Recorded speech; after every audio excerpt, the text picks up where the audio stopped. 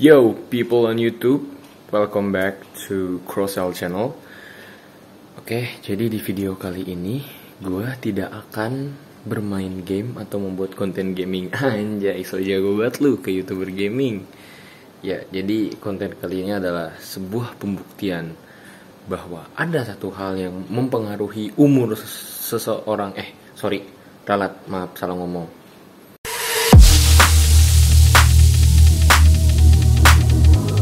Ya, jadi ada satu hal yang mempengaruhi umur pria, yaitu adalah kumis, jenggot, ataupun bewok. Nah, di video ini, gue mau membuktikan dengan mencukur kumis gue serta ya jenggot gue masih tipis-tipis gini ya. Apakah akan terlihat lebih muda muka gue? Ya, nanti gue akan nunjukin before-nya seperti apa dan after-nya juga seperti apa. Gue bakal foto setelah gue ngetek video ini gue bakal foto dulu muka gue yang saat masih ada kumis ini dan gue juga bakal foto setelah gue selesai mencukur. Oke okay, let's go!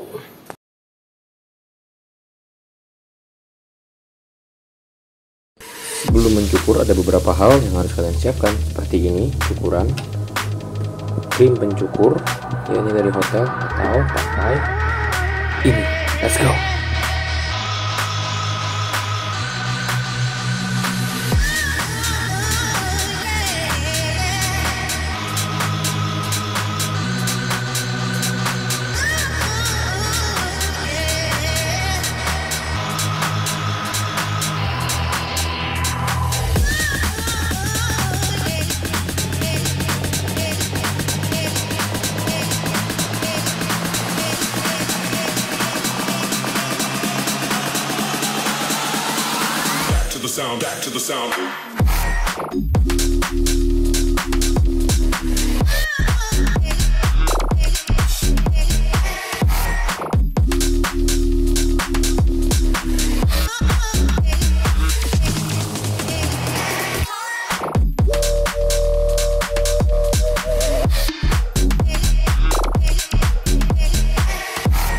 Yo, gue sudah mencukur, mempangkas kumis dan jenggot yang tadi tipis-tipis.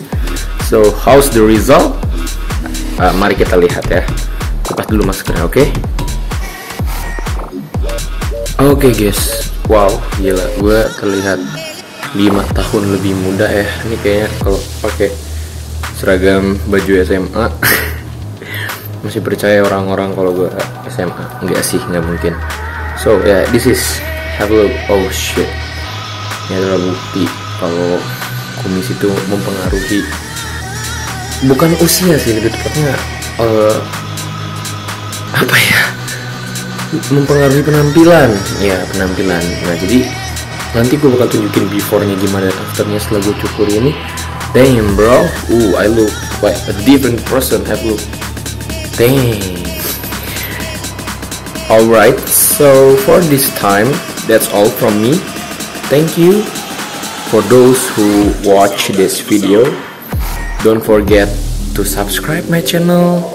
Terus di uh, nyalain juga loncengnya di situ.